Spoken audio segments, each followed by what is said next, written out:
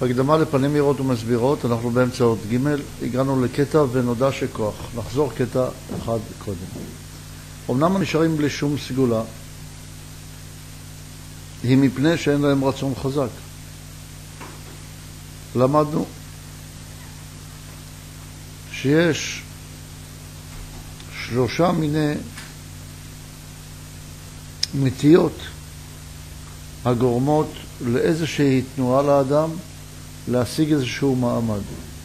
התאווה גורמת לעשירות, הכבוד גורם לשלטון, והקנאה גורמת להיות חכם או משכיל. אנחנו רואים שתמיד הבחינה שהיא צריכה להיות מעל אותה בחינה, היא זו שגורמת לה להיוולד.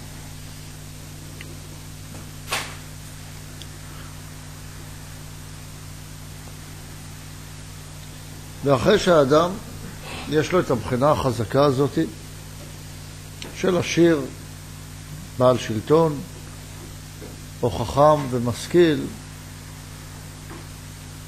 אז הוא צריך לעשות עם, עם התכונות האלה, עם המידות האלה, משהו בעולמו.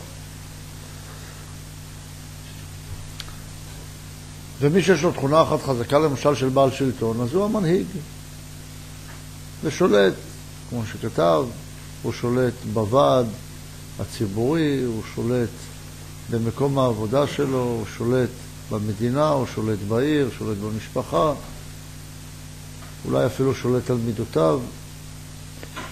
ויש עוד תכונות, למשל כמו חכם, שהוא יהיה בעל חוכמה והשכלה ויאהב את הלימוד ויאהב ויהיה סקרן מאוד ויהיה לו ידע רחב מאוד יכול לעשות הרבה דוקטורטים או ללמוד הרבה שו"תים וכן הלאה. אבל יש אנשים שרואים שאין להם תכונה מאוד חזקה, לא של השירות, לא של בעלי שלטון ולא של משכילים. מדוע? כי אין להם דבר אחד חזק. הכל נמצא אצלהם בערבוביה, והנטיות שלהם של תאווה, קנאה וכבוד, הם לא חזקים. זאת אומרת, בן אדם שיש לו למשל רצון לכבוד חזק, יוותר על כל כספו בשביל לקבל כבוד. בן אדם שיש לו רצון לתאווה חזקה, יוותר על כל כבודו בשביל תאוותו. אדם שיש לו רצון להשכלה, יוותר על כל תאוותו ועל כל כבודו בשביל לקבל תאוותו. אבל יש אנשים שהכל חל אצלהם בערבוביה. פעם התאווה עולה לראשם, ופעם הרצון לכבוד, ופעם הקנאה. ולכן הדברים אצלם הם בערבוביה, ושום דבר לא חזק מאוד אצלם. לכן הם לא יכולים להתגבר על רצונם, וכפי השתנות הזמנים והתנאים החיצוניים, הם כמו עלי נידף ברוח, שכל רוח מצויה יכולה להזיז אותם לכל מקום. ואלה כותב עליהם, אמנם הנשארים בלי סגולה, היא מפני שאין להם רצון חזק. זה נקרא להיות רציני. מה זה אדם רציני? אדם שיש לו רצון חזק. אם יש לך רצון חזק, אז אתה יכול לעשות תנועות בעולם וגם בנפשך. אם אין לך רצון חזק, אז אפילו שיש לך מחשבה מאוד בהירה מה נכון ומה לא נכון, אין די במחשבה להזיז את נפש האדם. אלא אתה צריך גם רצון חזק. כי רק המחשבה עם הרצון גורמים לתנועה ברגש.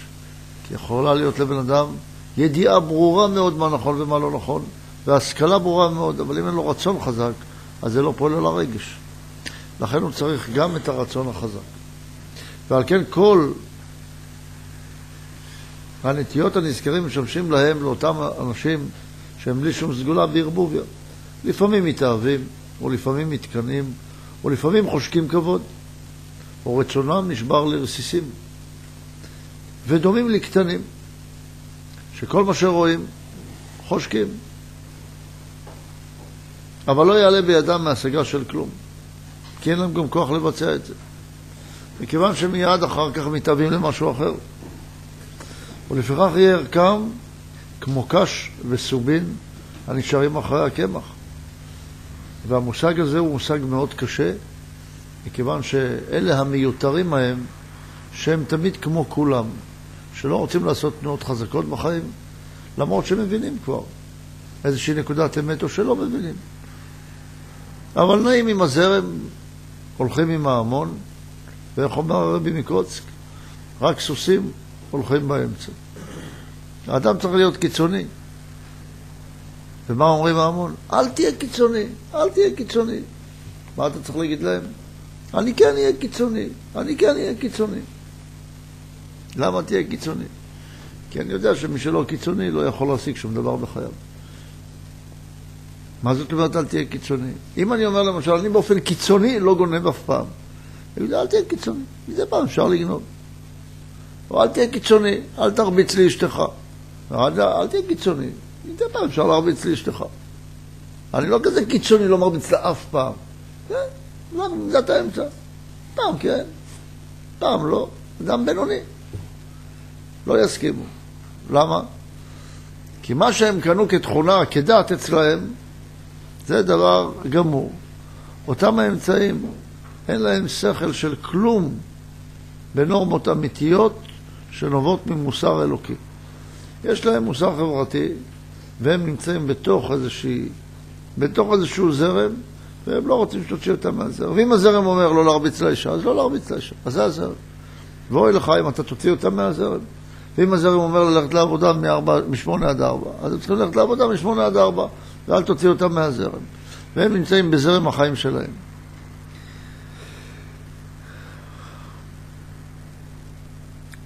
ואלה אומר שהם אנשים מיותרים כל... ערכם כמו קש וסובים. זה דבר מיותר.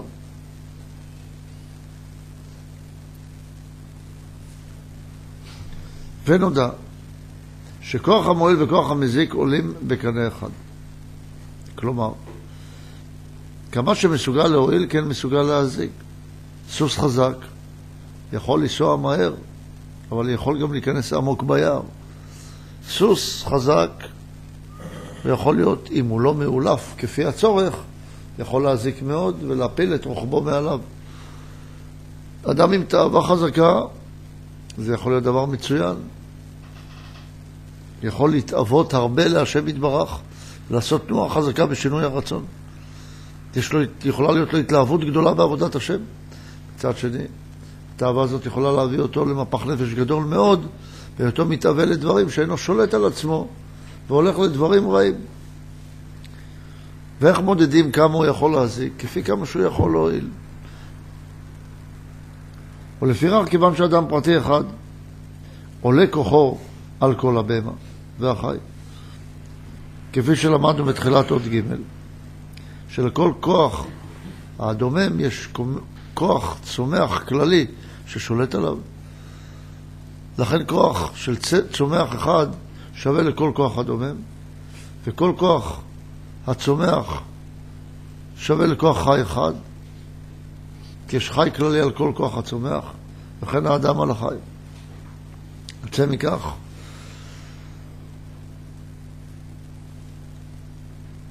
שאדם פרטי אחד עולה כוחו על כל הבהמה והחי מכל הדורות והזמנים. כן, כוח המזיק שפה עולה על כולנו. כמה שיכולים להשיג כל בעלי החיים. או כל אלה ממידות נמוכות ברמה של בעלי חיים. אחד, בעל, למשל השכלה, יכול להזיק לכל בעלי השלטון ביחד. או אחד בעל שלטון יכול להזיק לכל העשירים ביחד. ועל כן כל עוד שאינו ראוי למעלתו, באופן שישמש בכוחו רק להועיל ובשביל זה צריך הקדמה של שליטה על המידה, שליטה על הנטייה, שידע להחזיק במושכות ולכוון אותה למקום הנכון. כי ראשית, הכיוון הוא האפשרות של העצירה. אם יכול לעצור את הדבר, אז יכול לכוונו למקום הנכון. אז אם יש לו את הכוח לכוון, רק להועיל אז הנטייה החזקה היא טובה. אבל אם אין לו את הכוח הזה להועיל,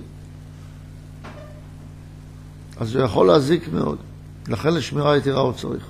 שלא יקנה מידה מרובה ממעלת האדם, שהיא החוכמה והמדע. זאת אומרת, אם מישהו בא ואומר לך, אני רוצה ללמוד מדע, למשל, ללמוד איך מייצרים פצצת אטום, מה אתה צריך לומר? לא כדאי לתת לו. כי הוא בן אדם שלא יכול לשלוט בעצמו, הוא יכול להזיק לעולם. מצד שני הוא אומר לך, למה? אני לא רוצה לבנות פצצת אטום, אני רק רוצה להשכיל בכך. והידע הזה, שומרים אותו מאוד מאוד המדענים, והרבה ידע שומרים מאוד המדענים, כדי לא לתת לעולם להזיקו. מצד שני, יש איזושהי אמרה שכל דבר טוב לדעת. אבל זה לא נכון. כי יש הרבה דברים שאם אנחנו יודעים אותם, הם לא טובים לנו. הם גם לא יוצאים ממוחנו, ומנקרים במוחנו, ולא נותנים לנו אפשרות לנהל את חיינו כפי הצורך. יש דברים שטוב שלא נדע. אפשר לראות את זה במיוחד על ילדים קטנים. זה שהם יודעים כל כך הרבה על לימוד, זה עוזר להם? לא, כי הם לא שולטים בזה. זה שמראים, רואים סרטים, או רואים פרסומות, או רואים כל מיני דברים, או יודעים כל מיני דברים, אין בזה צורך. הידע צריך להיות מכוון למטרתו. ידע הוא כמו, דבר, הוא כמו חומר. החומר צריך להיות מכוון למטרתו.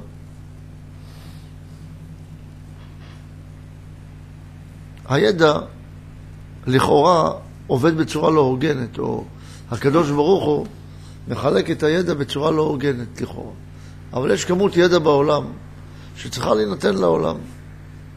וכפי שאמרנו, אם היו נותנים את כמות הידע לכולם בשווה, לא היה אף אחד בעל ידע חזק שמוביל את העולם קדימה. ואם היו מחלקים את הידע לכולם, כמו את הכסף לכולם למשל, אז לא היו כאלה שיכולים לפתוח מפעלים גדולים ולייצר דברים גדולים ולעשות דברים חזקים בעולם. לכן טוב שלמשל כוח הידע או כוח ההשכלה מחולק למעט אנשים. ואז יש בהם כוח השכלה חזק מאוד, ואז הם יכולים לפרוץ חץ קדימה בתנועות חזקות. תארו לכם שיש כמות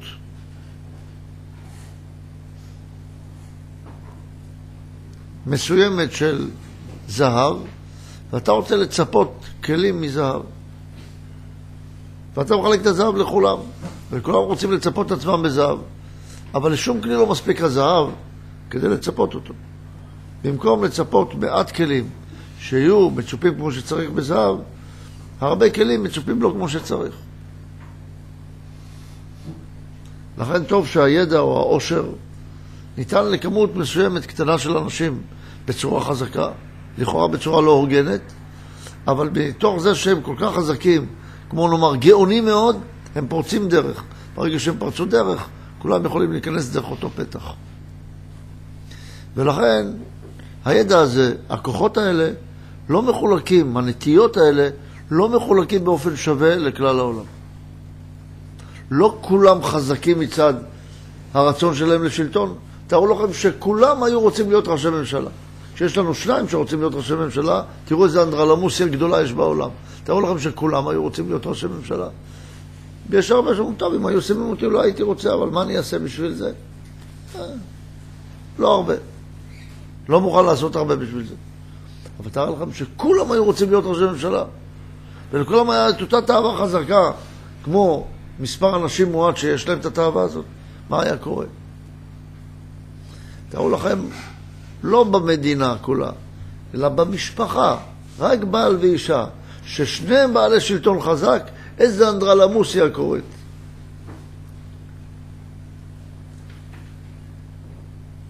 כשאין אחד באופן ברור שמוביל, יש אנדרלמוסיה גדולה.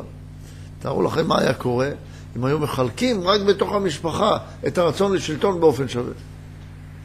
לא היו מסתדרים. לכן זה שמחלקים את התכונות מצד הכמותי, שנותנים לחלק כוח חזק, זה כדי שהם יובילו את העולם. בכל התכונות שהן. אבל יחד עם זאת, צריכים להבין שאותם אנשים חזקים שנותנים להם את הכוחות האלה, אם הם לא לוקחים את זה למקום טוב, אז היות שיש להם כוח חזק, הם יכולים לפרוץ גם דרך שהיא לא טובה. ואז אנשים הולכים בדרך לא טובה, כמו ישו, יימח שמו וזכרו. שהביא את העולם לעבודה זרה גדולה מאוד. ולכאורה הוא מפגין הרבה רצון לאהבה, הרבה רצון לנתינה, וכמוהו הרבה אחרים שבגינם נעצרו הרבה דברים מפחד מכוח חזק. כמו שבתאי צבי, שהיה בעל כוחות חזקים מאוד, וסחף המון מאוד מחכמי ישראל אחריו, ובסוף התאסלם, בגלל סיבות כאלה או אחרות, אבל היה בעל כוח חזק מאוד. הלך בדרכי הרי הקדוש, היה עושה צומות, היה בעל חן גדול מאוד, היה מקובל גדול מאוד. ואז פחדו מאנשים גדולים.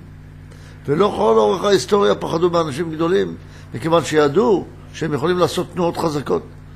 ולכן אם היה בן אדם בינוני, אז קיבלו אותו בחברה. בן אדם גדול, או שאהבו אותו או ששנאו אותו, הוא לא יכול להיות באמצע. לכן כל מי שמבקש לפרוץ דרך כלשהי, גם אם היא טובה, יש לו מתנגדים. ואנחנו רואים את זה גם אצל כל גדולי ישראל. וזה לא סתם, כי פוחדים מאנשים שרוצים לפרוץ דרך. כי אולי יפרצו דרך לא טובה. אפילו אנשים שלעתיד לבוא אחרי שפרצו דרך וראו את הטוב הגדול שהם נתנו לעולם, סגדו להם מאוד מאוד. אבל בדרך כלל אדם גדול, הדור שלו עצמו לא מבין אותו. לא תמיד, אבל בדרך כלל, הדור שלו עצמו לא מבין אותו. אם אחד כמו הרמב"ם, שרצו לשרוף את ספריו, אדם כל כך עצום וגדול, שהיום כולם מקבלים אותו.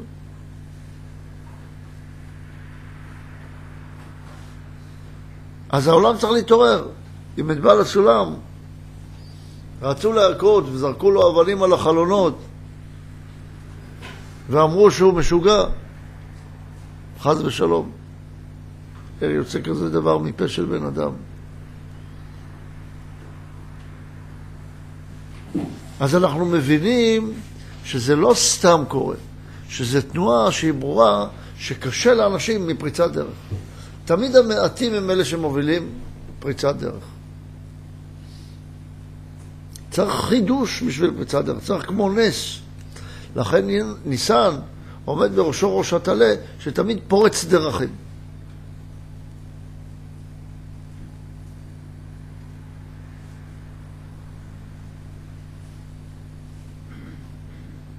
אבל מזהיר אותנו בעל הסולם ואומר,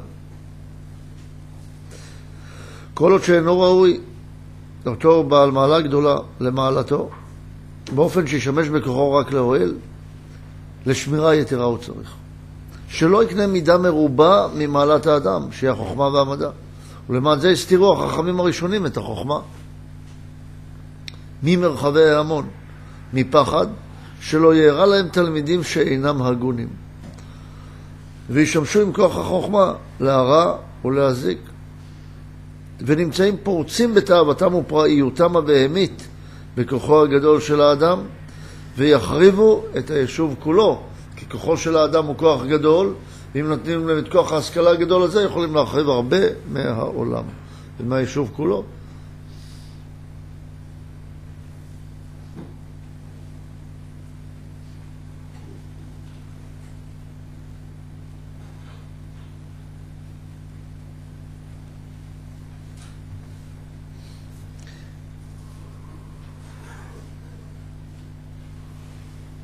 פעם הספרים היו גנוזים, לא היו נותנים לכל אחד לקנות כל ספר. היום אנחנו רואים שהחוכמה פרוצה. אבל זו הסתרתה, נדבר על זה בהמשך, מדוע היום מותר בכלל להפיץ את חוכמת הקבלה. שלכאורה לפי זה לא כדאי להפיץ את חוכמת הקבלה. מה גם שאנחנו רואים שהרבה משתמשים בה באופן לא אמיתי ולא נכון.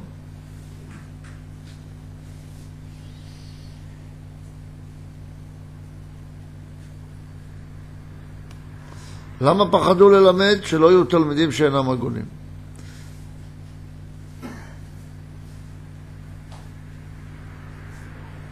לאחר שנתמעטו הדורות, וחכמיהם בעצמם, של אומות העולם גם. החלו לחשוק לשני שולחנות. לאמור לחיים טובים, גם לחומריותם. חוץ מאשר רוחניות וטוב, רצו גם חיים טובים. הכוונה היא חיים חומריים, חיים גשמיים. ולכן התקרבה דעתם גם להמון. ויסחרו עמהם. ומכרו החוכמה באתנן זונה, מלשון זן ומפרנס לכל. דהיינו, מה אני אקבל מזה? לא מעניין אותי אם זה יזיק או לא. כל מה שמעניין אותי, אני אתן לך את החוכמה. השאלה מה אתה תיתן לי בתמורה. תיתן לי כבוד, תיתן לי חומריות, תיתן לי כסף. אני מוכן לתת לך כל ידע, כל חוכמה. ובמחיר כלב, שנובח הב-הב, תן לי מעולם הזה, תן לי מעולם הבא, ואתן לך כל רצונך. ומאז שאותם חכמים ככה נתנו את החוכמה, כי היה להם כוח השכלה גדול, אבל גם התקרבו בדעתם להמון, נהרס החומה בצורה, או נהרסה החומה בצורה ששמרה על כוח ההשכלה וכוח החוכמה שלא תתפרץ להמון. אשר שתו עליה, שמרו עליה הראשונים, ויחמסו עליהם מההמונים והפראים. מילאו ידיהם בכוח אנשים והחזיקו בחוכמה ויקראו אותה. חציה ירשו המנאפים והשתמשו בחוכמה איך להגדיל את כוח הניאוף שלהם. וחציה למרצחים. וישימוה לחרפה לדיראון עולם כיום הזה.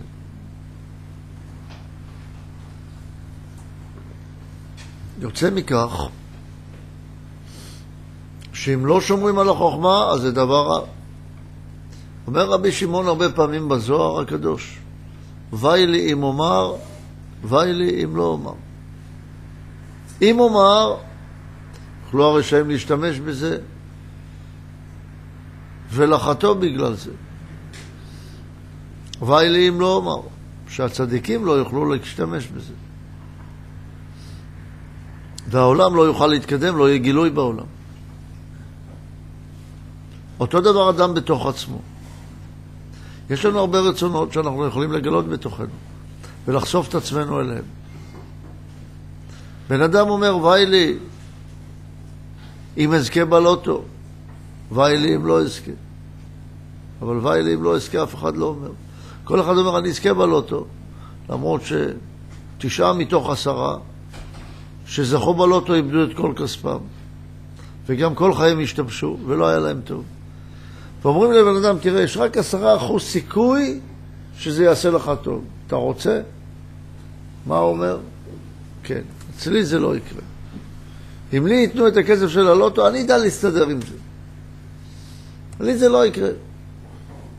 אה, למה לך זה לא יקרה? למה אתה שונה מהסטטיסטיקה? בהכל אתה דומה לסטטיסטיקה, רק פה אתה לא דומה לסטטיסטיקה. והאם הרבה אנשים שהיו רואים את זה, היו מוכנים לחתום שהם לא רוצים לזכות בלוטו בשום פנים ואופן בסכום גדול מאוד של כסף. מעט מאוד אנשים היו מוכנים לחתום על כזה דבר. למה?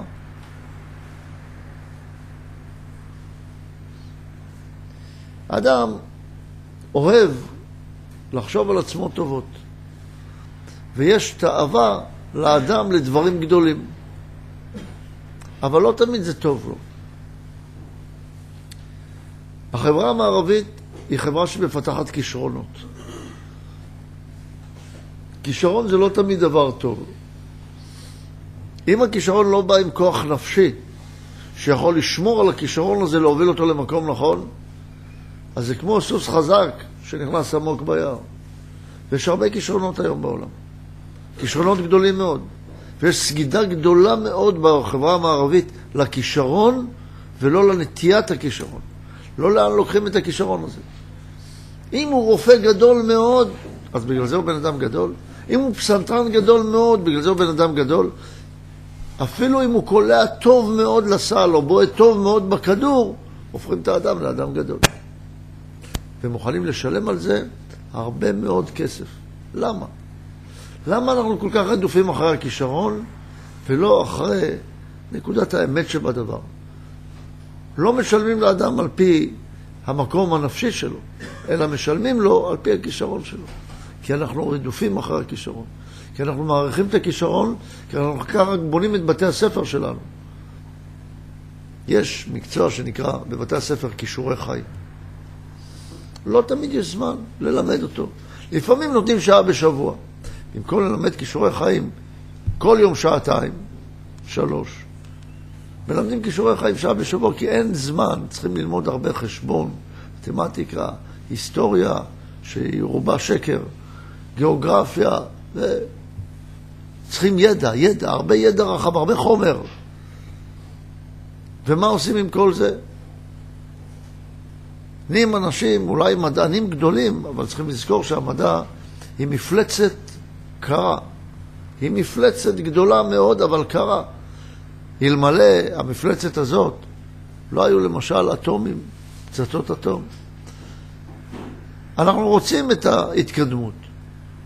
אתם יודעים שכל יום בארץ ישראל מתים, עד לפני שנה, שנתיים, כ-650 איש מתאונות דרכים, יותר מכל המלחמות. ואפשר לעצור את זה בקלות. בקלות. איך? לא נוסעים יותר במכוניות, רק בגמלים. רק בגמלים. מה? למה לא? מה יקרה? מה, לא נתקדם? אז נחיה במקום, לא נצטרך לנסוע לאילת עם מטוסים. לא יהיו תאונות בכלל, אבל לא רוצים את זה. למה לא רוצים את זה? זה קל מאוד. או שהיו אומרים, רוצים להוריד את האלימות ב-50%, מה עושים? כל מי שיעשה סרט אלימות, אסור להקרין אותו בחוק. מי שיקרין סרט עם אלימות, ייכנס לבית הסוהר ל-25 שנה. אין יותר סרטי אלימות, אין יותר פרסומות של אלימות, אין יותר שיחות על אלימות, אסור בחוק. 50 אחוז, לא כל האלימות, 50 אחוז מהאלימות תרד. אבל לא עושים את זה, למה? עושים הרבה כסף מהאלימות. כי יש לאדם את התאווה הזאת לאלימות, הוא מוכן לשלם על זה, כדי לראות את זה אצל אחרים. כי אדם לא יכול לפעמים להרביץ לבד, אז הגיבור שלו בטלוויזיה מרביץ. והוא מזדהה איתו ונהנה, איזה אגרוף הוא נתן לו, גם אני הייתי עושה את זה, אבל אסור, יש חוק, מה אני אעשה? אני אתן אגרוף לחבר שלי, הכניס אותי לבית סוהר, אז בצחוק אני אתן לו. אז הוא ייתן בשבילי, והוא יירה בו בשבילי, והוא יגנוב בשבילי.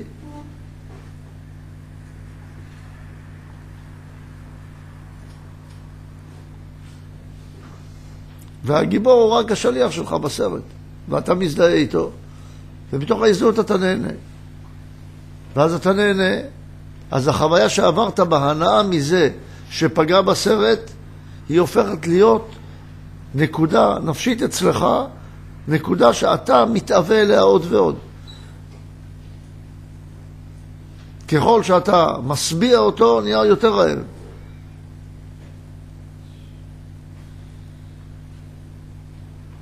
ולכן צריכים להיזהר מה אנחנו מכניסים לעצמנו. לכן אנחנו צריכים ללמד יותר ויותר את עצמנו, את ילדינו, במערכות החינוך, יותר כישורים לחיים, יותר את האפשרות לפעול את החיים על פי הנטיות האמיתיות והטובות, יותר מאשר כמות החומר שאנחנו יודעים. לפחות 50% ממערכת הלימוד צריכה להיות על איך לחשוב נכון, מהי האמת, איך בונים נפש נכונה, זה מה שצריך ללמד, לא כישרונות. איך, איך הכלל הזה שהרב אמר שהבורא לא מחלק את כל ה... אה, לא יודע, את החוכמה או את העשירות לכולם, לנתן את זה למעטים, איך זה מופיע בנפש האדם? שלמשל אי אפשר לחשוב עם הציפורן, אלא רק עם הראש. נתן את כל החוכמה בראש, במקום לחלק את החוכמה לכל הגוף. למשל, לא נתן כוח לאוזניים כמו לידיים. תנסה להחזיק את הכוס עם האוזן, תראה אתה לא מצליח. וליד נתן את כל הכוח כדי להחזיק את הכוס. למה נתן דווקא ליד את כוח, הכישרון הזה, להתנועע ולזוז ולעשות מעשים? אם היה מחלק את זה לכל הגוף, את אותו כוח, אז לא היה לך מקום אחד שדרכו אתה יכול לעשות את הפעולה מספיק חזק. בנפש האדם אנחנו רואים שיש לנו תכונות מיוחדות לכל מידה ומידה, שכל הכוח מרוכז בה כדי שהיא תוכל לעשות את הפעולה כפי מידתה. אתה רואה את זה באיברי הגוף, אתה יכול לראות את זה גם בנפש האדם. כוח השמחה, כוח העצב, הכוח של הנקיות, וכל המעלות האלה נמצאות בכל אדם ואדם. אותו דבר חוש הטעם, נמצא בכל מקום ומקום, החוש הטעם מסוים, אבל אם הכל היה מחולק, אף פעם לא היה לך טעים באופן חד, דבר מסוים לא היית חש אותו. הכל היה בערבוביה. ככה זה קורה בכל המציאות, בכל העולם. יש מקומות של הרים גבוהים, יש מקומות של בקעות, יש מקומות של ימים. למה המים לא יהיו מחולקים באופן שווה בכל העולם? אם יש ים בכל העולם במקום אחד, הרבה, בכל המקומות היה קצת, היה נגיד חצי מטר בכל העולם. היה יותר קשה. טוב שירוכזו דברים, והריכוזיות הזאת נותנת את האפשרות לספציאליזציה, שכל אחד יעשה את תפקידו. זה נובע מזה שהיה צריך לפרוט את העולם, שכל פעם נעשה תפקיד אחר, הן בזמנים והן במקומות. ולכן הכוחות התחלקו לזמנים ומקומות, ואותו דבר באנושות, לאנשים בדורות וזמנים, כדי שכל בחינה ובחינה תעשה את עבודתה בזמנה וכפי התפקיד המיוחד לה. ולכן היה צריך לחלק את זה בעולם. לא, זה, וזה השוויון. השוויון לא שכולם יהיו אותו דבר, אלא שכל אחד יעשה את התפקיד שלו ביחס לכלל. ולכן הוא צריך לקבל את התכונות שלו ביחס לכלל. אגב, כך צריך ללמוד שהקנאה של האדם היא יכולה להיות דבר מצוין, אבל היא יכולה להיות גם דבר הרסני מאוד, אש הקנאה. אש הקנאה לא צריך להיות קנאת הזהות, אלא קנאת השוואת הצורה. לא קנאה בחומר, אלא קנאה בצורה. ברגע שאני מקנא בחומר, אז אני רוצה להיות הוא, ואני לא יכול להיות הוא. תראו לכם שהרגל מקנאה ביד, או משה מקנא בדוד, אז אם לדוד יש את הבית הזה, אז הוא רוצה את הבית הזה, כי זה הבית של דוד. אל תרצה ככה. אם הוא בנה בית יפה שמתאים לו, תקנא בצורה שהוא ידע להתאים בית לצרכיו, ואתה תרצה להתאים בית לצרכיך, כי הצרכים שלך הם צרכים אחרים משלו. בצורה תקנא, אבל לא בחומר. קנאה בחומר זה אומר שיש זהות, אתה רוצה להיות הוא. ההזדהות היא דבר קשה מאוד, שגורמת לאדם לדברים לא טובים בחיים. אפשר להשתמש בה כאמצעי, אבל בתנאי שאתה יודע לעבור מההזדהות לצורה, להשוואת הצורה. אחרת, אתה רוצה להיות הוא, ואז הקנאה הופכת להיות לאש תאווה, ואתה רוצה בגלל שהוא רוצה, ואתה אפילו לא מכיר את הרצון שלך. אה, משקיעים הרבה בלימוד תורה בצורה מובהקת וברורה. האם זה נכון שיתחילו להשקיע מהזמן על כישורי חיים על חשבון לימוד התורה? ובאותו הקשר שאלה נוספת, האם זה נכון לבסס את כוח המדע סביב לימוד התורה? שילדים יהיה להם מדע חזק והמדע הזה יתרכז בידיעות התורה. השאלה הנכונה, מעצם השאלה יש שגיאה במחשבה. האם ללמוד כישורי חיים במקום תורה, זה נקרא תורה. זה התורה. כל השאר זה חומר שנועד דרכו להוציא את התורה. ללמוד בראשית ברא אלוקים את השמיים ואת הארץ בלי לקשר את זה לנפש האדם זה לא תורה. כי תורה באה להדריך את האדם, להורות לאדם מדרכו בחיים. אם הוא לא לומד את דרכו בחיים, אז בשביל מה הוא צריך להיות מכונה שמדקלמת את התורה? מה הוא צריך, שייכנס לו חומר כמו במחשב, ורק צריך לשכלל את כוח הזיכרון שלו, שפעם היה לו ג'יגה אחד, עכשיו לו שתי ג'יגה זיכרון בראש? לזה הוא נועד? זה נקרא תורה? אז עצם השאלה, האם אפשר את זה במקום תורה, היא שגיאה בשאלה. אבל אם כך עומדת השאלה, אז התשובה היא כן. כן, אבל גם תבין שזו התורה האמיתית. כי התורה האמיתית היא איך הדברים קשורים לחיינו. איך אני יכול לנהל את חיי אגב הלימוד, לא רק של התורה, לא רק של חומר התורה, אלא גם של המדע, ואגב כך השאלה השנייה, צריכים ללמוד את המדע, אגב כך שאני צריך להשתמש בו לחיי תורה. לא תמיד אפשר לקשר את זה באופן ישיר, אבל ודאי שצריך להדגיש את הדבר, חזור ושנו, שהמדע לא עומד בפני עצמו. אבל אפשר ללמוד אותם כדברים נפרדים. אני לא יכול לקשור כל פעם כשאני מלמד ילד את האפס ואת האחד ואת השתיים, לקשר אותו לריק ונקודה ותנועה. לכן, מכיוון שהוא לא יכול להבין את זה תמיד, ואנחנו גם לא, לא מספיק יודעים את זה, אז קשה מאוד ללמד את העולם, את המדע מקושר לנפש. אבל האמת היא שגם המדע עצמו מקושר לנפש. לא תמיד אפשר לעשות את זה, אפשר להפריד. אותו דבר את התורה. אפשר להפריד, אבל להבין, להבין שכשאני לומד את התורה, רק כדי להבין, לדקלם אותה, זה כמו מדע. גם באוניברסיטה אפשר ללמוד ככה. כשלומדים את ה... איך לפעול אותה מבחינה נפשית, לא מבחינה מעשית, מבחינה נפשית, זה נקרא תורה. אם יהיו אותם פרטים אה, בתוך חברה כמו שלנו, שנקרא להם פורצי דרך, שההמון אה, בתוך החברה הזאת לא אוהב אותם? בדרך כלל זה אנשים משימתיים מאוד, חזקים מאוד, שמבינים את הדברים, לאו דווקא בשכל, לפני אחרים, ומוכנים למסור את נפשם על זה. אלה הם פורצי הדרך. אתה שואל בתוך חברה שלנו, כמו שלנו? למשל, בן אדם בתוך חברה שלנו מבין שצריך להפיץ את החוכמה. אז הוא יכול לפרוץ דרך בהפצת החוכמה ולהשקיע את נפשו בזה. לעומת זה שכולם אומרים לבן אדם, תשמעו, צריכים להביא אנשים למודעות שבועית. אז אתה, אז הרמתי טלפון, עשית? עשיתי, הרמתי טלפון פה, הרמתי טלפון שם, ואף אחד לא עושה הרבה, כולם עושים קצת. אבל אם היה קם אחד או שניים, שהם היו חזקים מאוד בזה, הם היו תורמים יותר מכולם, ואז הם פורצים דרך לכולם. אבל אם אין אחד חזק, אם למשל כולם מארגנים קצת, לא מאורגן. אם יש אחד שמארגן בצורה טובה, ואומר לכם מה לעשות, אז הכל נהיה הרבה יותר מאורגן. תמיד צריך את היחידים שמובילים את הדבר. כמעט כל דבר בחיים.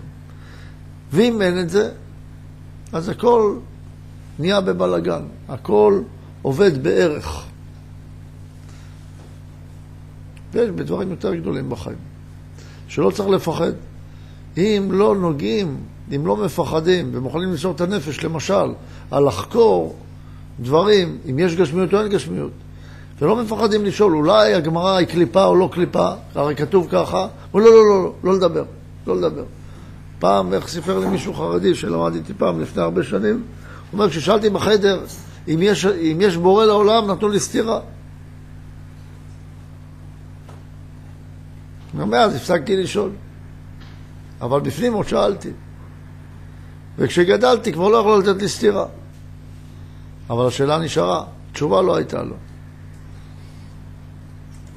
אה, שתי שאלות.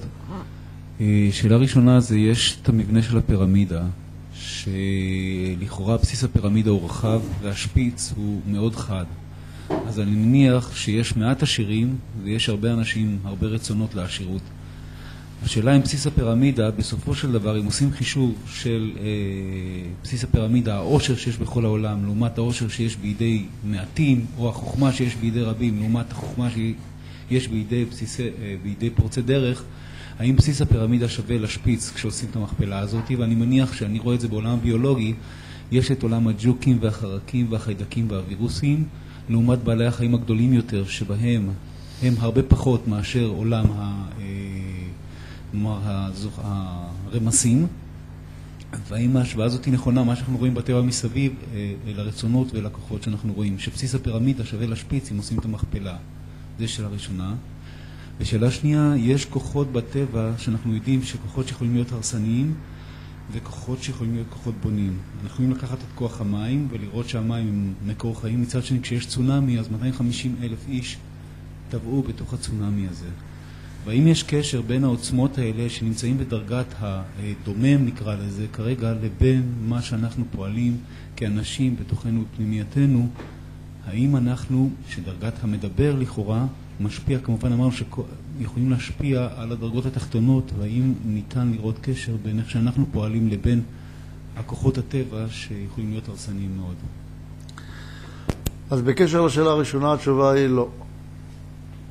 בסיס הפירמידה והשפיץ הם לא שווים. תמיד בשפיץ יש יותר כוח מבסיס הפירמידה כפול הגובה. למה? נקודת השפיץ היא נקודת האיכות. ונקודת הש... הבסיס היא הנקודה של הפרטים הרבים, זה צד בניין. הכלל גדול מסכום פרטיו. הוא לא שווה לסכום פרטיו. הוא גדול מסכום פרטיו כי יש בו עודף, עודף הכלל. ולכן הרוב בניין גדול מרוב מניין. אם אין רוב בניין, אז אין ברירה להשתמש בכוח של רוב מניין. אם אין לי כוח של עומק, אז אין לי ברירה להשתמש בכוח של רוחב. הרבה פעמים אני לא אוכל לבנות את כוח העומק אם לא יהיה לי את הבסיס, את הפלטפורמה של כוח הרוחב. התמדה זה דבר מצוין שיש, אבל אם אני כל הזמן רק אתמיד אבל לא אחדור לעומק, אז אני גם לא אתקדם.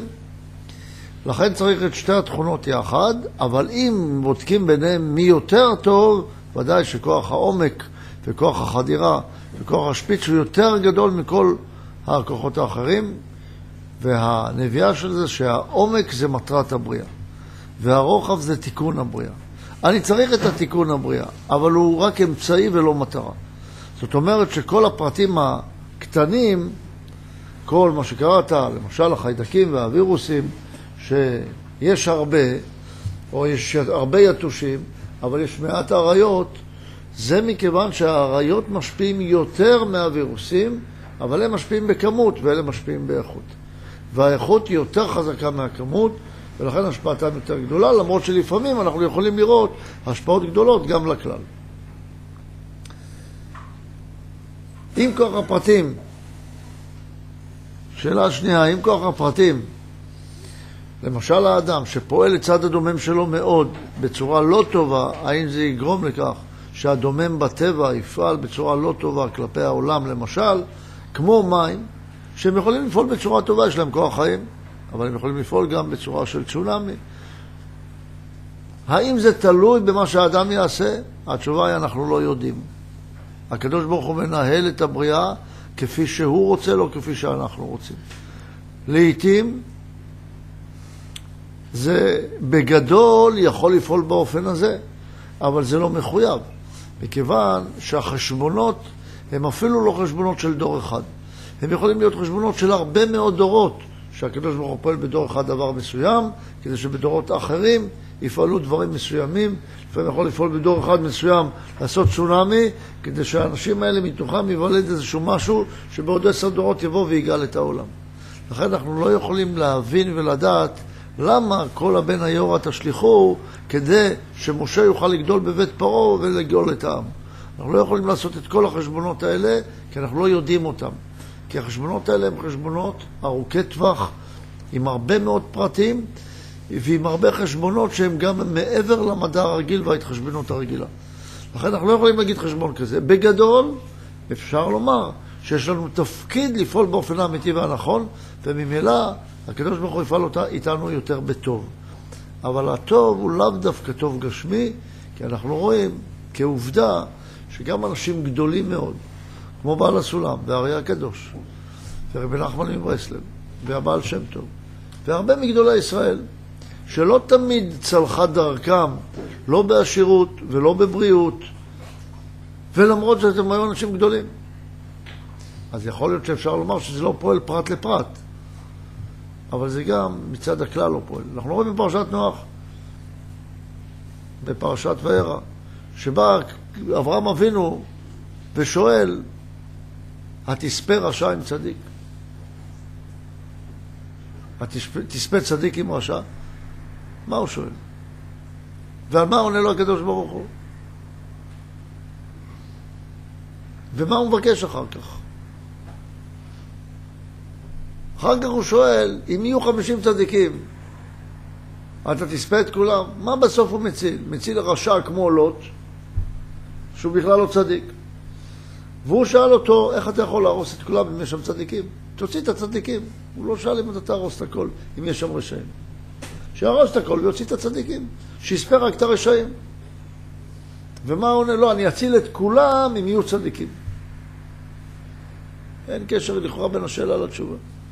משהו שהצדיקים משפיעים על כל העולם ולא רק על עצמם. זה הוא עונה לו, הקדוש ברוך הוא. שאין להם תפקיד פרטי בעולם רק לעצמם, לצדיקים, שאני אציל אותם באופן פרטי. צדיקים לא באו בשביל עצמם, מה אתה מבקש ממני בשביל הצדיקים? צדיקים באו בשביל עצמם בעולם? מה, יש הפרדה באנושות? ומה שאני אספה את כולם, ממילא הצדיקים ימותו. אבל אם אתה רוצה ככה, בסדר, אני אציל כבר את אותו צדיק.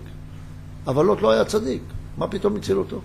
לוט הרי לוט זה מלשון קללה, שנפרד מאברהם, למדנו בפרשה הקודמת, שצריך לזרוק אותו למקום כמו סדום. ועכשיו הולכים להציל אותו, ודווקא אותו מצילים, שממנו באים מואב ועמון. אז אנחנו רואים שהסדרים הם לא ברורים לנו, אבל נלמד בפרשה שהיינו צריכים את יצר הרע הגדול הזה שיישאר בעולם. בקשר לכוחות שיש בעולם, הם כך, הם מנוהלים באופן שונה מהמחשבה שלנו, הם בחשבונות ארוכי טווח, כי את לוט היה צריך בשביל דוד המלך, שיצא מרות המואביה. אז החשבונות הם ארוכי טווח. הם לא, תראה כמה דורות רצו את לוט להציל אותו בזמן אברהם, שבעוד כמה אלף שנה דוד המלך יוכל להיוולד. שיוכל לגאול את ישראל אחרי, שבט, אחרי ששת אלפים שנה, או, או אחרי ארבעת אלפים שנה. אז אנחנו לא יכולים לעשות את החשבונות האלה הקטנים של עכשיו אני מתנהג בדומם, נהיה צונאמי. הצונאמי בא בשביל דבר אחר, יכול להיות בשביל עוד אלף שנה. צריך לנהוג אדם שיש לו תפקיד של מחנך, או בין אם זה מורה, בין אם זה הורה, בין אם זה חבר שבא לייעוץ אליו, והוא רואה ש... שהאדם שאמור לחנך אותו, או לתת לו ייעוץ, לא, לא מזיק לעצמו ולא לא מבין את הנושא הזה של נקודת האמת. האם יש לו מה לעשות, או שהוא פשוט צריך להתייאש? השאלה היא איזה ייעוץ הוא רוצה ממנו. אם הוא רוצה ממנו ייעוץ מקצועי טכני, הוא צריך להתייחס רק לטכניקה של הייעוץ, לצד הטכני של מה שהוא מייעץ לו. אם הוא צריך לייעץ לו משהו חינוכי, אין מה להתייעץ עם בן אדם כזה. מה אני אתייעץ עם בן אדם שלא מבין כלום בחינוך על חינוך? היית הולך לסנדר בשביל שירפא לך את השיניים?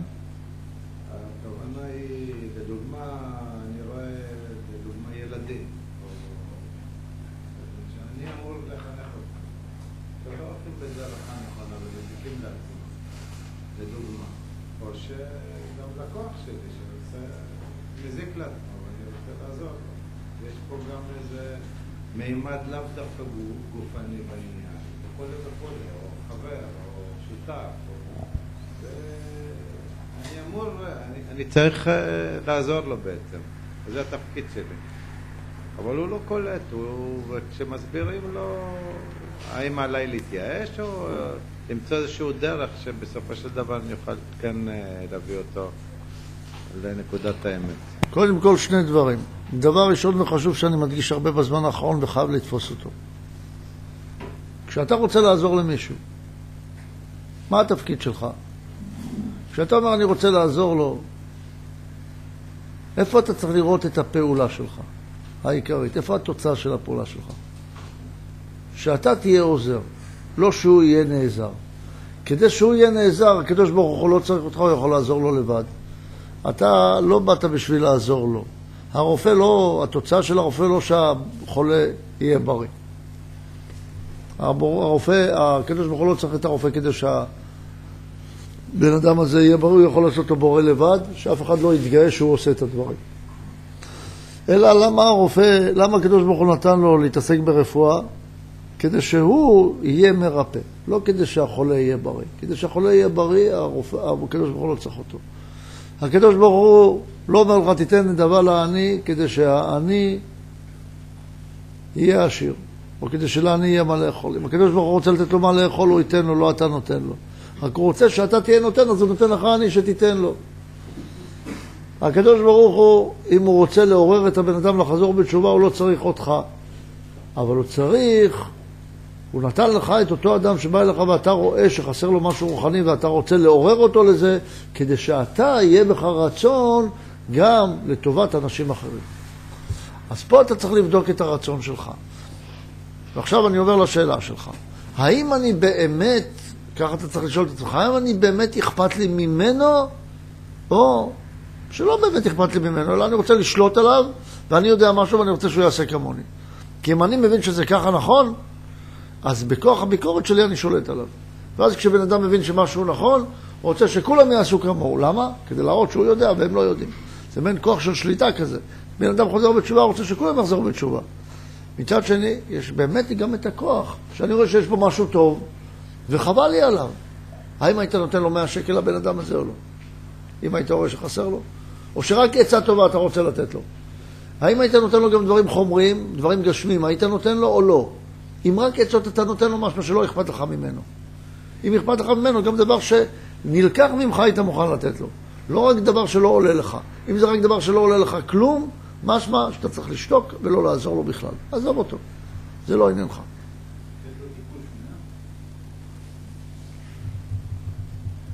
לכן אנחנו חייבים להיות ישרים עם עצמנו. מקום שלא באמת אכפת לך מהבן אדם, אז עזוב אותו. אם אכפת לך, היית מוכן גם לעזור לו. לכן אחד העצה שאמרתי לבן אדם ביקורתי, כל פעם כשאתה עושה ביקורת, תיתן לו גם עשרה שקלים. אם קשה לך לתת לו, תיתן תרומה. כל פעם כשעשית ביקורת, עשרה שקלים בצד, תרשום לך. עוד עשרה שקלים עשיתי ביקורת. למה? להראות שאני מוכן לתת. אבל אם לא, אל תעשה ביקורת. כי לא אכפת לך באמת ממנו, אכפת לך רק שאתה תעשה ביקורת. אתה רוצה לעשות ביקורת, תעמוד מול המראה, אתה יכול לעשות הרבה ביקורת. אתה רוצה לעורר אותו לרוחניות, אתה יכול לעורר את עצמך הרבה מאוד לרוחניות. תעמוד מול המראה, תראה כמה רוחניות אתה יכול להשקיע בך. את עצמך אתה גם יכול לעורר, אבל אני מבין את התכונה הזאת, ולמרות זאת אני לא לגמרי אה, לא רואה את זה, את מה שאתה אומר. אני מבין את זה, שגם יש עניין של עצה, אבל צריך למתן אותה בזה שמה שרוצים שאחר יעשה כמוני.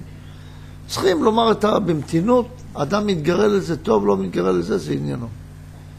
לפעמים הכוח היותר חזק הוא לא לנדנד לבן אדם יותר מדי, אלא ללכת בדרכך, להיות חזק בדרכך, לא להתבייש בה, להיות גאה בה, לפעול אותה חזק, עם הרבה טובות, עם הרבה נחמדות, ולבד האנשים ילכו אחרי הדרך הזאת אם היא תהיה מספיק טובה. וגם אם לא, אז לא. אלא אם כן ייתן לך תפקיד מיוחד להיות מורה לרבים. כמו לנביאים. ואז, אם באמת יש לך כזה תפקיד, או שאומר הזוהר, כמה אתה צריך להוכיח את האדם? עד שיכה אותך. אבל אם לא, אל תוכח לץ, פני סנקה. תוכח, תוכח את עמיתך, אבל קודם תוכיח לעצמך שהוא עמיתך.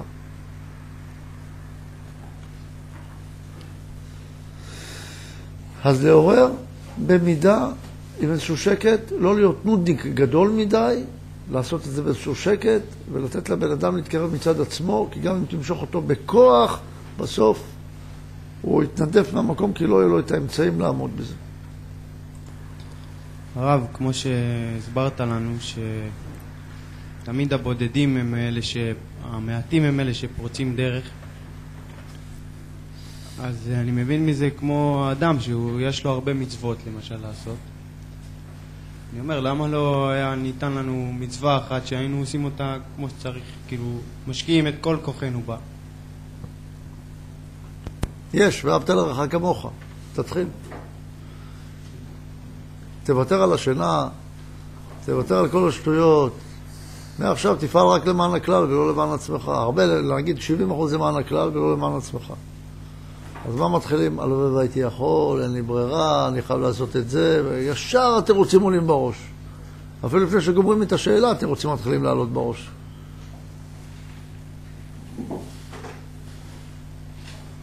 ותמיד אנחנו יכולים לעורר את החבר, נו, תתחיל לפעול את זה. ומה איתנו? באמת רוצים לעורר את עצמנו, אבל לא נעים לנו מעצמנו, אז כבדיחה אומרים לחבר. למה? עוד פעם, סוג של בריחה.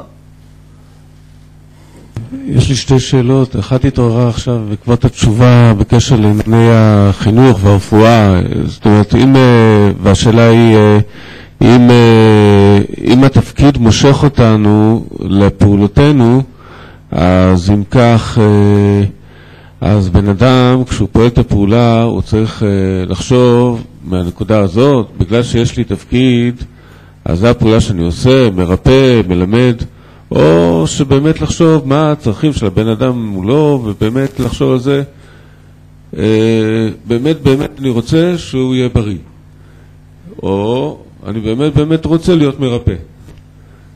זו שאלה אחת. והשאלה השנייה, אה, האם החומה בצורה של חוכמת האמת, אם היא באמת נהרסה, או שהיא עברה, או שצורתה השתנתה, שהיא נסתרת יותר? בקשר לשאלה הראשונה, באמת באמת צריך לחשוב שאתה תהיה מרפא ולא שהוא יהיה בריא. זה מה שצריך לחשוב. רק באמת באמת להיות מרפא, לפעמים אתה מקבל החזר מהחיים, משוב, מזה שהוא בריא. מזה שהוא בריא אתה מבין שאתה מרפא. אבל רק אמצעי שאתה מרפא. למשל, אם אתה רואה שעשית כל מה שאתה יכול לעשות למען החולה והוא מת, אתה היית בסדר.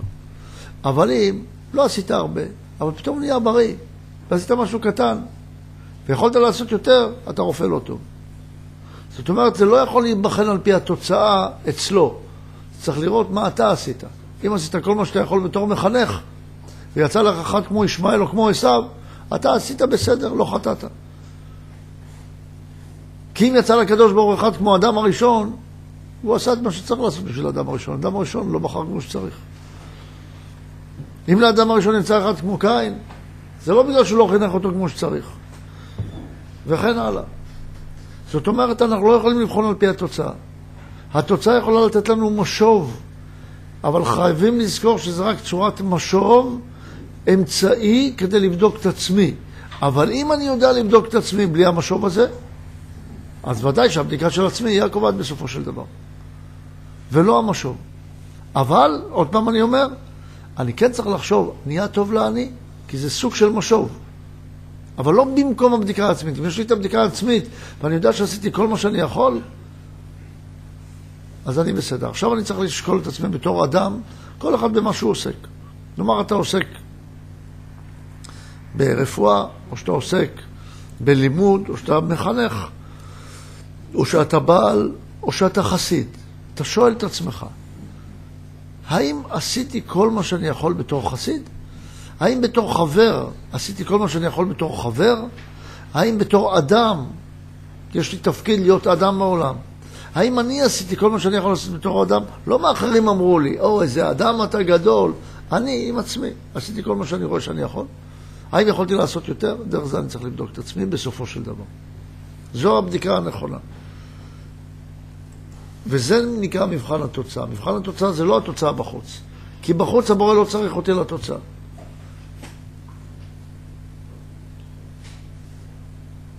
ובקשר לשאלה השנייה, בעל הסולם, בקשר לחוכמה, אם היא נכנסה או לא נכנסה ויש לה סיכוי או אין לה סיכוי, או מה ההסתרה שלה היום, למרות שהיא גלויה, נדבר איתנו פה בהמשך באות, הבא. נדבר על זה אז.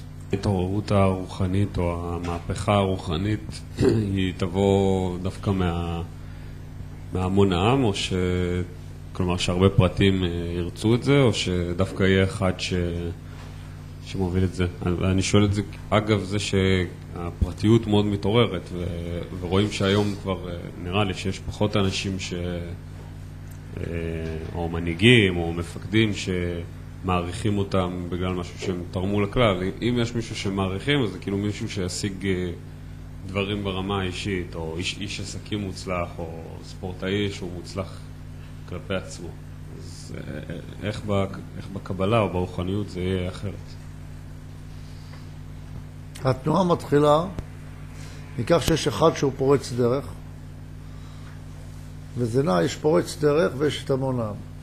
הפורץ דרך גורם, או קבוצה קטנה של פורצי דרך גורמים לאיזושהי הרגשת תחושה, אפילו לא מובנת להמון העם, שדוחפים את אלה שבאמצע קדימה. אלה שבאמצע הם לכאורה במצב הכי נוח, והם רוצים להישאר שם. ויש את שתי הקצוות. אז לפעמים רואים תנועה של המון עם, אבל תנועה של המון עם אף פעם לא מתחילה מצד עצמה. מתחילה כתוצאה מזה שהיה פורץ דרך, שעורר כוח בעולם, שפעל על המון העם, לדחוף את אלה שבאמצע, להמשיך קדימה, כי הם רוצים לבוא למקום של האמצע. ולכן כל הזמן התנועה היא כזאת, בסירקולציה כזאת. לכן, גם ברוחניות זה ככה. אתה שואל עכשיו, שלפי דעתך אתה רואה שכל מה שרוצים עכשיו זה נקודה פרטית, זה רק כי צריכים את הנקודה הפרטית הזאת, שאתה רואה שיש בני אדם פרטיים שיש להם ספ... ספציאליזציה בכל מיני תחומים ומעריכים את הדבר הפרטי, זה כי רוצים פורצי דרך בעולם. ומבינים שכל הזמן צריך פריצות דרך. אבל פריצות דרך האלה משמשים את ההמון בסופו של דבר. כי פורצים דרך לאינ... לעשות אינטרנט בעולם, ואז לוקחים את הכוח הזה של האינטרנט כדי שנוכל עכשיו לשדר לארצות הברית. אחרת לא היינו יכולים לשדר. אנשים יושבים בנהריה, בארצות הברית, ברמת גן, בבני ברק, בצפת, וכולם מקשיבים לשיעור. למה? בגלל אותו אחד שהמציא לנו את האינטרנט, או לא יודע מה המציא פה כדי שנוכל לעשות את זה. אבל הוא עשה את זה בשבילו, הוא אפילו לא יודע למה הוא עשה את זה. יוצא שגם אלה שבונים את הכישרונות, הם כבר לא פועלים מצד מה שהם יודעים מה הם יעשו לעולם. לכן גם אם זה כישרון פרטי זה לא משנה. העיקר שהוא פורץ דרך. לפעמים משהו מאחורה שולח את הסוס קדימה כדי שיפרוץ דרך, כדי שאחרים יוכלו לעבור. הוא לא חייב להיות חכם או מודע למה שהוא עושה תמיד. איך אני בתור פרט אמור אה, לזהות פורץ דרך, ואיך אני גם אמור אה, להתייחס אליו ולחבור אליו, לעשות, אה, מה, מה התפקיד שלי פה ביחס לפורץ דרך? אנחנו צריכים לדע, לשאול את עצמנו מה הבורא רוצה מאיתנו. הבורא רוצה את פורצי הדרך, ודאי שהם הכי חשובים לו בחיים. תחשוב על עצמך בתור בעל מפעל גדול, מי, הדבר, מי הפועל הכי חשוב? זה שמוביל את המפעל קדימה. אותו דבר הקדוש ברוך הוא רוצה את זה שמוביל את העולם קדימה. מה יוצא מהשאר? שלא יתנגדו לו, שיבואו איתו, שיעזרו לו לפרוץ דרך. לכן אם אתה רואה שיש מישהו שפורץ דרך, אתה צריך לחבור אליו, לעשות כל מה שאתה יכול כדי לעזור לו לפרוץ דרך. וככה אתה הופך להיות בין פורצי הדרך. זה התפקיד שלך. איך תדע אם הוא פורץ דרך? זה רק לפי שיקול דעתך.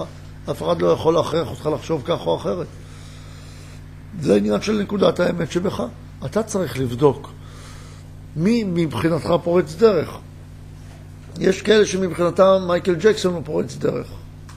יש כאלה שמבחינתם, שלא יודע, זה שחקן כדורגל פורץ דרך. איך אתה שחקן? מרדונה פורץ דרך. רונלדו. טוב. קודם כל, בהקשר לתשובה שאב נתן לעידן, אה, אני רוצה להבין את התהליך הבנתי שיש פורץ דרך, והוא משפיע על המון העם, דווקא על החלק הנמוך, שהוא דוחף את החלק הבינוני. כן. אז אה, מה זאת אומרת, למה יש את הקפיצה הזאת ולא הבינוניים הולכים אחרי פורצי הדרך והמון העם נמשכים? מכיוון שהפעולה לבינוניים היא יותר קשה, כי הם רוצים להבין את זה בשכל והם לא מסוגלים. כי הם רוצים לעצמם, השלב הבא שלהם, שהם יהיו פורצי דרך. והם לא יכולים להיות פורצי דרך, אבל על המון העם זה פועל בלי ידיעתם. והפעולה בלי ידיעתם מקרקרת בבטנם, ואז הם פועלים בתור מסה שדוחפת את הדבר. ולכן זה פועל באופן הזה.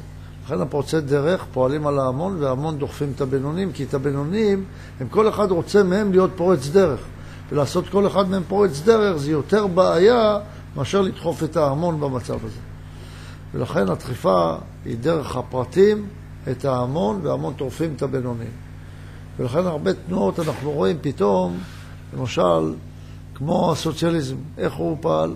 היו פורצי דרך וזה דחף את ההמון לדחוף את אלה שבאמצע. אלה שבאמצע הם לא פרצו דרך. הם גם לא רצו לוותר על מקומם באמצע. המקום באמצע הוא מקום נוח. והם לא רוצים לוותר על מקומם באמצע. אבל המון העם דחף אותם, להכריח אותם, כי המון העם פתאום תפס שהמצב שלו לא טוב. שיש מקום אחר שהוא רוצה להתקדם אליו. אבל הוא לא יכול היה להבין את זה לבד אם לא הייתה תנועה של יחידים שגרמו לתחושה העולמית הזאת שפועלת על הפרטים הקטנים. ופועלת עליהם שלא בדעתם. מה זה אומר, והאם אפשר גם ללמוד מזה על עצמנו בפנימיות, שהיהודי שבתוכנו אמור להיות אה, פורץ הדרך? היהודי זה הצד המובחר שבאנושות, כמו שהמדבר הוא הצד המובחר שבדומים צומח החי. והוא צריך להיות פורץ דרך. אותו דבר, צד היהודים הם פורצי הדרך בעולם. בהחלט צריך ללמוד מזה שצד היהודי שבי, שהוא צד הבחירה שבאדם, הוא זה שפורץ דרך, תמיד בנקודת הבחירה שלך, שם אתה נמצא באיזשהו צומת דרכים שאתה צריך לפרוץ דרך. והמקום הזה הוא מקום מפחיד לפרוץ דרך. כי אתה עומד בצומת דרכים ואתה צריך לוותר על הבחינה הקודמת שלך. ושם קשה לעשות את הפריצה דרך. מעטים שיכולים לעמוד בצומת כזאת ולומר, טוב, אני מוותר על המציאות הקודמת שלי, אני מתחיל לפעול מתוך בחירת דבר חדש. כי צריך פה התחדשות.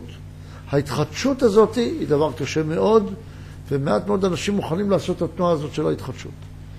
אבל זה צד היהודי שבנו. זה לקבל את התורה בבחינת נעשה ונשמע. נעשה למעלה מהדת. אחר כך יבוא האור על העניין הזה, אבל קודם כל נעשה. מהו המבחן שבו אני יודע שעשיתי כל מה שאני יכול, ולדוגמה, יש לי שני חברים, יש 24 שעות ביממה, כל אחד מהם צריך 24 שעות.